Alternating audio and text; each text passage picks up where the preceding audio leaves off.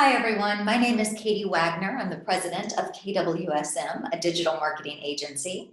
And today we're going to talk a little bit about what it's like to work inside a digital marketing agency or how we tell stories for our clients. KWSM is my company. We were founded in 2010, and today we have offices in Orange County, San Diego, Atlanta, and Las Vegas. And what makes us different from other agencies is that we consider ourselves to be brand journalists. We help tell stories about companies, and many of us have journalism backgrounds, whether it be magazine, print, TV, or radio. But even those that don't come from journalism backgrounds, we teach to really dig in and understand the stories and the messages our clients have to share and how to convey those through online content. We are a full service digital marketing agency, and that means we do things like social media strategy and management, video, blogging, photography, content creation, website design and development, search engine optimization or SEO, social and Google advertising, and digital PR and sponsorships. I think the best way to really understand the work we do is to tell you about our weekend in Vegas we were hired to promote a new show on the Vegas Strip last summer. It's called Marilyn, the new musical, and it was opening at the Paris Hotel. It was the Caesars Entertainment production. So, the first thing we had to do for the show was to build a website where people could go before it opened to learn about the show and get interested in buying tickets. This is the website design we created. And then we began creating social media content to promote the show. You'll see on the left there, that's a behind the scenes photo from one of the photo shoots with the stars. And over to the right, that's some user generated content. That's actually the choreographer of the show in a quiet moment on stage before it fills up and she has to get to work. And then here we were really lucky to work with the estate of Marilyn Monroe to uh, promote this show. And so on the left there, we got to interview her former boyfriend, Bill Pursel, and ask what he remembered about Marilyn. And on the right, you'll see that we had access to the original sheet music she used to sing a lot of her songs in a lot of movies and occasions.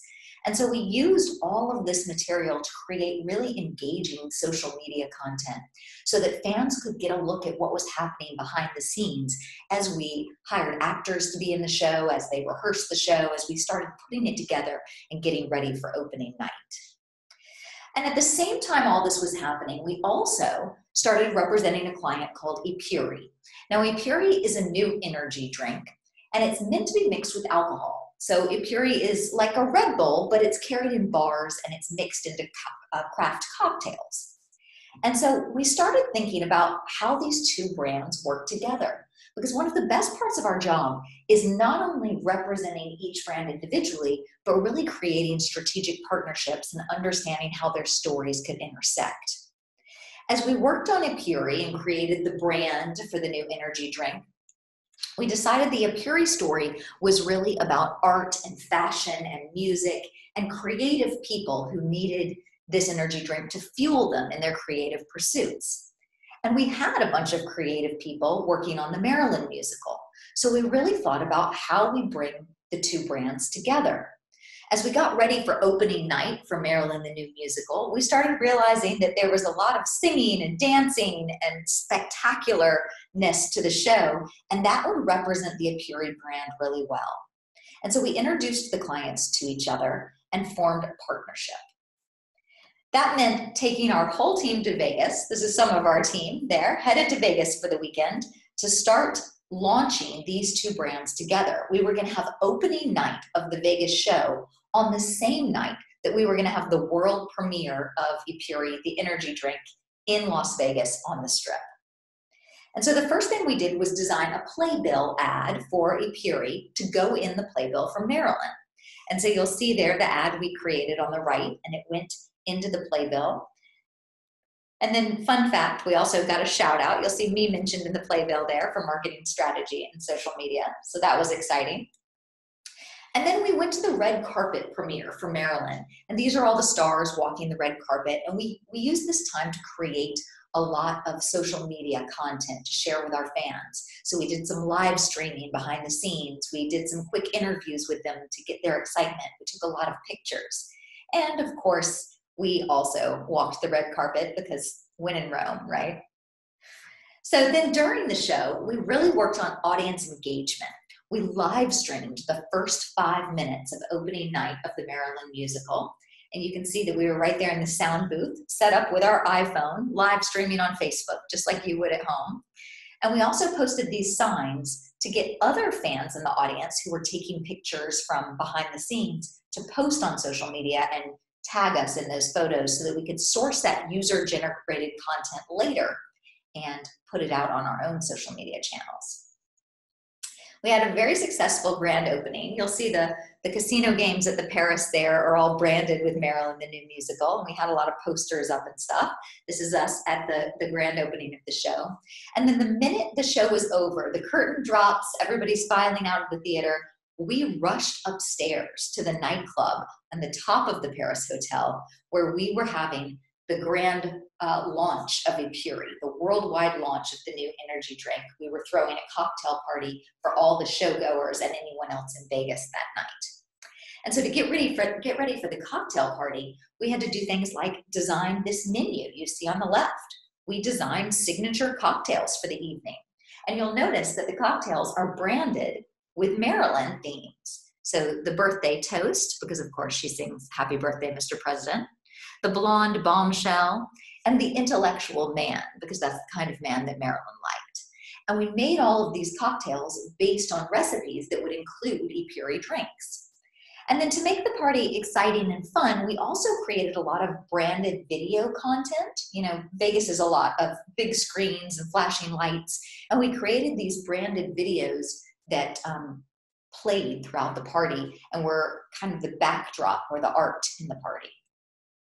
We had a successful US premiere. Here we are celebrating on the roof with our uh, champagne cocktails afterwards. And this was a really great um, example of how we found synergy between two clients. We could have told their stories individually, but bringing them together really helped us do a better job for both of them because we created a unique opportunity to not only get more buzz about the show by promoting it on both Epuri and Marilyn channels, but to really drum up an audience for Epuri before it even launched by promoting it in conjunction with Marilyn the New Musical. So let's talk about working in digital marketing. That's uh, some of the sexier things we get to do, right? New musicals, new energy drinks. Sometimes we promote things like um, law firms or CPA firms or doctors or health clinics we also do a lot of fitness, a lot of um, cities that we work for, tourism, travel. So we work in a lot of different industries. And in our industry, in the digital marketing industry, KWSM is a really different type of agency. And some of the things that make us different are that we're all employees of the company. So, a lot of agencies you might interview with after college will use freelancers or contractors or interns to do the work. There's nothing wrong with that, but we've chosen to make all our all our employees actual employees. So they get salaries, they have full benefits, they're actually employed by the company rather than just a staff of contractors. And we have a real office. In fact, we have four real offices in uh, Atlanta, Las Vegas, San Diego, and Orange County. And sometimes this day and age, you'll realize that a lot of agencies kind of operate uh, virtually or remotely. I know most of us are operating remotely now, right? Which is why I'm not there with you today. But most agencies, or, or some agencies, don't have real offices. So if it's important to you to be in a collaborative team environment with your coworkers, you're going to want to ask that question. Do you work remotely as teams, or is there an office you come into every day? The other thing that makes us different is we have longevity. We were founded in 2010 in Orange County, so this year is our 10th year. KWSM Atlanta opened in 2016, Las Vegas opened in 2018, and San Diego opened just in January when we acquired another agency, and that's how we opened our San Diego office. But having 10 years in the business is actually a pretty long time. This is, as you know, a relatively new industry. A lot of agencies in that 10 years have popped up, lasted a couple of years, and then closed again. But the fact that we are going strong after 10 years and continuing to grow and expand and open new offices um, gives us a lot of stability in an industry that sometimes can be a little less stable.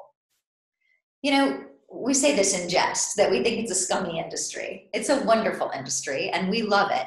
But what we mean by this is that sometimes digital tools are foreign to customers, to clients, right? The clients that hire us don't understand everything about SEO or about Google keywords or even about the best practices to post on social media or make a Facebook ad.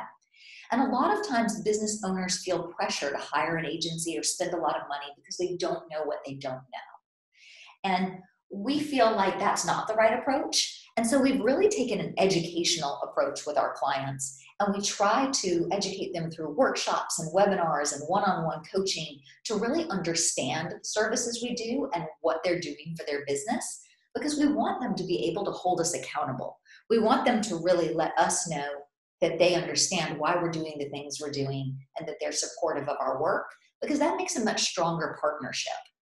And as a result, our average client has been with us two and a half years at this point. Many of our clients have been with us nine or 10 years, the whole length of our agency. And it's because we really do see those relationships as a partnership and we work really hard to develop plans in conjunction with them and have their buy in. We love to execute. You know, something that's really common in agencies is that they'll sell a strategy and then the company is in charge of figuring out how to execute it um, but we we don't. We execute all of the work ourselves. So we flew to Vegas. We created the social content. We were there live streaming. You know, we do all of those pieces along the way. So once a company hires us, um, we're the boots on the ground for their marketing plan. We become the marketing team, and we don't at KWSM use any scheduling or automation. We do it all um, organically and we're actually on our clients' accounts every day, responding to fans and followers and having conversation. We're doing all organic posting and networking because we believe that allows us to get better results for our clients. It's the way we would tell them to do it for themselves if they were going to do it. And so um, that's the way we want to do it for them. So I mentioned a little bit earlier our types of clients. We work in a lot of different industries. We have a lot of clients in fitness and wellness and health a lot of beauty, cosmetics, or hair care clients, uh, a lot of municipalities. We work with a lot of city and county governments. Um, we do a lot of work in professional services. That would be law firms, CPAs, financial planners, uh, a lot of healthcare, doctors, um, wellness professionals, psychiatrists, psychologists, things like that. And a lot of travel and tourism, hotels, um, you know, big tourism destinations, travel destinations, cities, that sort of thing. And one of the things that is really important about our business, especially in this time, is that we have a broad base of industries that we work in and a broad base of sizes of clients. Not all of our clients are all big, some of them are small or medium. Not all of them are in the same industry, they all do different things. And that has really paid off in the way of stability as an agency. And you know, right now with the health crisis that's going on, a lot of companies are hurting and a lot of agencies are hurting and it's not their fault it's, it's the way the world is. But at kwsm we're really lucky because we've had such a diverse client base that not all of our clients are being hurt by the coronavirus. Some industries like travel and tourism are are really hurting and those clients have had to scale back services. But other clients like professional services are operating as business as usual. They're just operating from home and those clients are even ramping up marketing during this time. So having that broad base of industries in a time like this has really saved us. And, and we haven't had to lay anybody off or downsize our business at all during this time, which we feel really fortunate about. But as we go out into the world after coronavirus, those are um, questions you might want to ask as you're interviewing for jobs and, and other agencies. You know, how much of their client base is concentrated in an industry? Before this um, outbreak, maybe we didn't know how important that was, but certainly we do now that the more diverse your client base is, the more stable you are as a company, and the more secure the jobs of all the people that work there are. So those are important questions to ask and information to find out as you as you look at companies that you want to work for after graduation. I'll give you one more case study. I want to tell you about our work for Jerome Alexander Cosmetics. And this is a makeup company. That's Jerome right there. And Jerome just had his 80th birthday. He started this cosmetic company uh, almost 50 years ago. He's been doing this a really long time. And the problem is that a lot of people using the cosmetics he was making are older. They've all been with him 30, 40 years. And Jerome had a concern that the brand might die off unless they got some younger people interested in his cosmetics. And so we were hired to expose the brand to a new, younger audience. When we took over, this is what the website looked like. And we felt like it looked a little bit um, clunky. It, it, looked a little bit um, like old school, and we wanted to refresh it a little bit. So we first built a new website. It now looks like this, which we think is much cleaner, a little more modern looking. And then we started creating social media content and advertising content. And we, again, we took all this, these pictures ourselves and we looked into getting makeup artists to use the products. We hired models and we really staged some of these tutorials so that we could create content about it. We also wrote blog posts once a week with makeup tips. We would interview Jerome about his tips for putting on your makeup at your house or how to um, do certain looks that people might want to recreate. And we'd write blogs and have a lot of educational content out there. And this helped people discover it on the internet and come to the website through search because they might be looking for a tutorial on how to do a cat eye, for instance. And because we gave them one, they'd click on the website and check out our products. We also created a lot of video. Video content is really hot on social media these days. And so um, you'll see on the top there, we had a green screen, right? So our model is sitting in front of just a green wall and the makeup artist is putting makeup on her. But look at the shot on the bottom. That's what the finished video looks like. Because with a green screen, we're able to CG in a bathroom. So it looks like they're at home in the bathroom, but um, it would be a lot harder to set up for a shoot at home in the bathroom. So we used a green screen. And these videos went on YouTube, they were shared on Facebook and other social media channels, and then they also were embedded on the website. So when we create content like this, we try to get as much use out of it as possible and as much longevity from the content we create. We also contracted some influencers to help us promote the brand. So uh, this top woman is Melly Sanchez. She's a, a, millennial makeup influencer. She has a YouTube channel. And we sent her some products and asked her to create a look using them. That's her look there to the right that she created. And um, when she posted this video on YouTube, it linked to all our products so people could buy the products she used on her face. And then also we gave her a discount code to give to her fans and followers so that if they came to the website, to buy the products, they could use the discount. That makes it easier for them to buy, which encourages more sales, but it also allows us to track which sales came from Melly's uh, video, right? We were able to really understand which consumers she drove to the site because they were the only ones using her discount code. The picture at the bottom there, that's actually model Kathy Ireland. So Kathy has her own talk show now. She has a, a, beauty and wellness talk show. And we got Jerome Alexander on the talk show as a guest. And she interviewed him about his career in the makeup industry and about his tips for makeup application. Uh, and that was content that went out on television to a much wider audience. And that helped us raise brand awareness overall about Jerome Alexander Cosmetics. So, the results of this campaign. When I made this slide, we were about six months in to the push to get Jerome Alexander Cosmetics tied into a younger audience, exposed to a younger audience. And the website traffic in that time had gone from less than 2,000 hits every month to more than 8,000 hits a month. So we'd substantially increased the people going to the website. And the sales went from an average of less than $100, around $70 or so per month, to more than $2,000 a month in sales. So we were getting good traction on increasing sales. And then something happened that we didn't see coming. We were trying to sell cosmetics on the internet, but Jerome Alexander Cosmetics are also carried at CVS, at Rite Aid, Walgreens. We weren't trying to push those sales, but we found that as we exposed more people to the brand, then they would go into drugstores and they'd recognize it and purchase more there as well. So we actually drove retail sales as well as e commerce sales during our marketing push. And we got the first sales online uh, from 18 to 25 year olds. This was a brand that was mostly purchased by 40 and 50 year olds in the past. And these were the first sales coming from that younger demographic. And so, you know, this is early on, six months into the campaign, but we are accomplishing those results and we're really continuing to push to make sure that the right audiences are being exposed. So that's a little bit about our work. I think I'd like to introduce you to a couple of my colleagues, um, professionals that are not too long out of college, that once sat where you sat and now work at the agency, and they'll tell you a little bit about um, what they like about the work we do. Hi, my name is Ivana, and I'm a content editor at KWSM, a digital marketing agency. Um, I was asked to speak about a few things about what I like about agency life and digital marketing in general. Um, I would say the first, you know, the thing that sticks out to me the most is that digital marketing is always changing.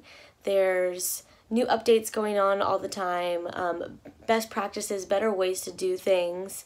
Um, that is, I think, one of the most important reasons why all of us stay so up to date. Um, things that we learned you know, a few years ago probably don't apply now. And so we're always staying on our feet, always staying updated, um, and trying to master whatever online space it is and their um, their interface.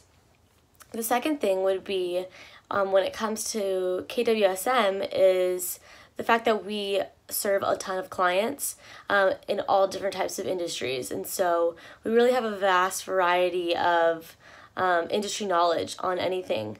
Um, you know, being able to market a specific company takes a lot of information and education and really learning them. And so the fact that we're able to do that with almost every industry out there um, is something really special. And lastly, I guess this would go for both KWSM and digital marketing is your ability to be so creative um, with whether it's campaigns or social media posts or you know even in your writing maybe email. Um, being creative is super important and i think that is really special to have in your workspace um, and be able to collaborate with other creatives as well. Um, you know being able to brainstorm and expand all those things make it um, really fun to go to work every day. Thanks. Hi everyone, my name is Lila Lemire. I have been working in digital marketing for about five years or so. Um, and two of those years I have been with KWSM, a digital marketing agency. Um, let's see, I've been asked to tell you all what you should know about getting into this field. And it's been a tough question because there is a lot that I'd love to tell you from the last five years. But just to highlight a few things, um, sometimes people, when they talk about digital marketing and getting into this career, they assume it's a very creative field. Um, and while it is very creative, there are a lot of different avenues to go into. If you choo do choose to go into digital marketing, you can um, uh, specialize yourself in a more analytical role, which is the direction I've chosen to take. You can uh, focus on more website related work, um, such as landing pages, building uh, lead magnets. So really, you don't necessarily have to be a good writer to get into this field. You could be a really creative graphic designer. You could be a really good photographer or videographer, or just really love data analytics like me. Um, and you can find yourself a career um, that really opens you up to uh, digital marketing. Um, which leads me to my second point. There are uh, the benefits of joining an agency is that you will always be interacting with various industries.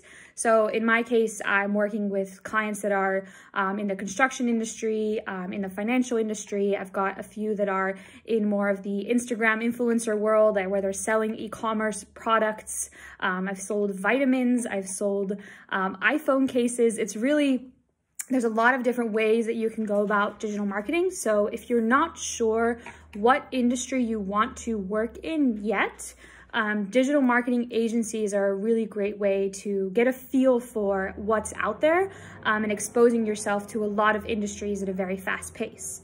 Um, and just a tidbit of interestingness, since all of you are on Instagram all the time and you see all these influencers um, posting their content, sharing how they use this certain product, and then you immediately think, wow, I should go buy that. Um, we've noticed a trend more recently where it's not really about the quality of the content that you're posting. So sometimes the ads that I'm putting live for clients are just like grainy photos someone's taken on their, on their iPhone or selfie videos like this one um, that end up converting at a much higher rate um, than some of that really quality production value. So, in the uncertain times that we're in right now, where um, people are working from their home, uh, it's interesting to see how the ads, the advertising space of digital marketing has not slowed down because we can still create all the advertising and commercial related materials that we need uh, to set live these ads and to have them uh, generate leads. So, um, if you have any other questions, let me know. Uh, but I hope that this gives you some insight on what it's like to work in digital marketing and um, that you may choose to go into this field.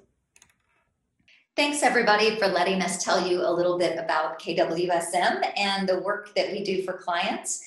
Uh, we had a good time. I wish we could be there with you in person. Um, it's a a different thing doing it over webinar, but we want this to be useful for you. So if you have questions, here's my contact information on the screen. You're welcome to email me or call me anytime. And I'd love to answer your questions about um, what it's like to work in the industry or specific job search tips if you're looking for a job in digital marketing. Please reach out. We are here to help you. We would love to be a resource. And also, we are always hiring um, both junior account managers, so usually those people come right out of college, and also interns. We have a pretty robust internship program uh, where you get mentored by our team, and then we like to hire those people after they graduate. So if you're interested in checking that out, go to our website, which is kwsmdigital.com, and on the careers tab, you can see more about it. Thanks so much for having us, and we hope you'll stay in touch.